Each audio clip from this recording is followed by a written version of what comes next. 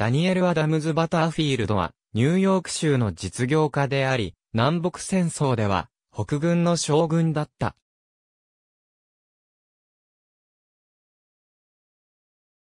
後に、ニューヨーク州で、アメリカ合衆国財務官補を務めた。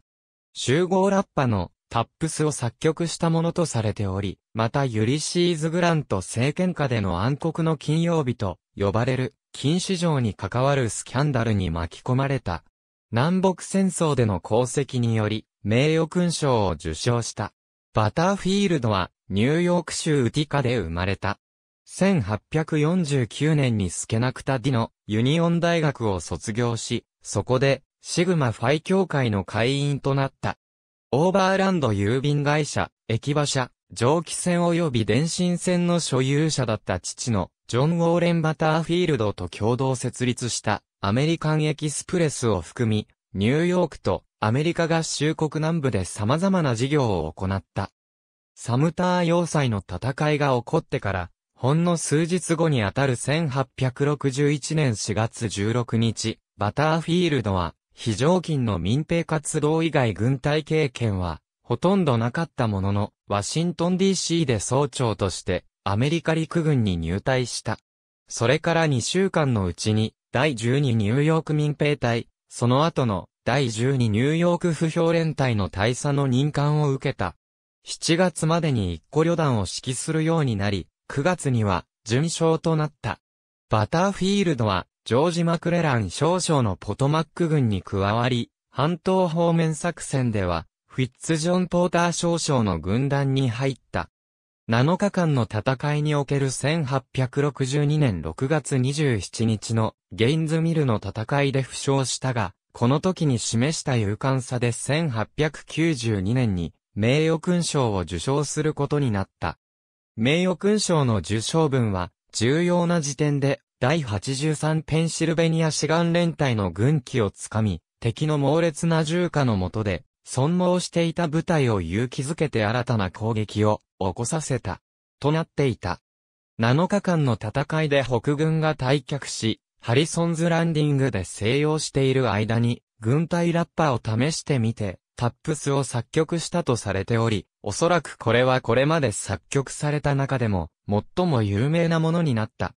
バターフィールドは埋葬の最後に行う3回の一斉射撃という慣習的なやり方に置き換えるためにタップスを作曲した。タップスはまたフランスの消灯を知らせる軍隊ラッパであるタトゥーにも置き換わった。バターフィールドのラッパ種である第83ペンシルベニア志願連隊のオリバー W. ノートンが最初に推奨するものとなった。数ヶ月以内にタップスは北軍でも南軍でも推奨されるようになった。バターフィールドは第二次ブルランの戦いやアンティータムの戦いでは旅団長を続け、その後師団長を経て、フレデリックスバーグの戦いでは第五軍団長となった。その軍団はフレデリックスバーグの市街を抜けて攻撃した部隊の一つであり、メアリーズコーチからの殺人的な放火を浴びた。フレデリックスバーグでの改装と泥の行軍の後で、ジョセフ・フッカー少将がアンブローズ・バーンサイド少将に代わって、ポトマック軍指揮官となり、バターフィールドは1863年1月に、フッカーの参謀長になった。3月には1862年11月29日付で、少将に昇進した。フッカーとバターフィールドは、親密な個人的、及び政治的関係を作った。多くの将軍たちが意味嫌ったことに、その作戦本部はしばしば女と酒で溢れ、酒場と売春宿の組み合わせとまで言われた。上層部の間で政治的な内輪もめがはびこり、バターフィールドは仲間内の大半から嫌われた。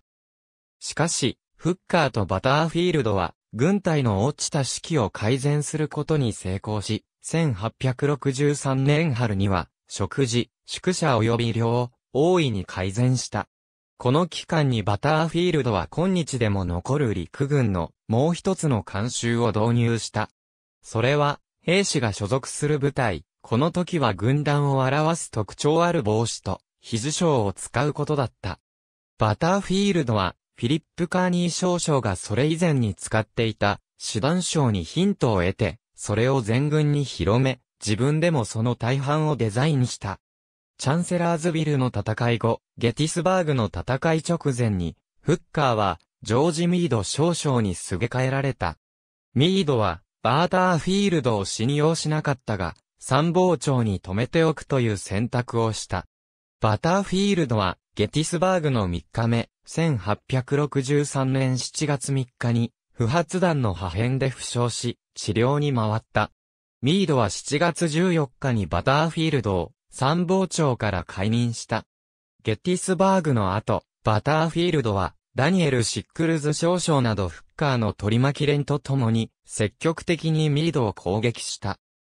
ゲティスバーグは、北軍の大きな勝利だったが、シックルズとバターフィールドは、アメリカ合衆国議会、合同戦争遂行委員会の場で証言し、ミードは動揺して7月1日の時点で、ゲティスバーグからの撤退を考えていたと言って、その評判を傷つけた。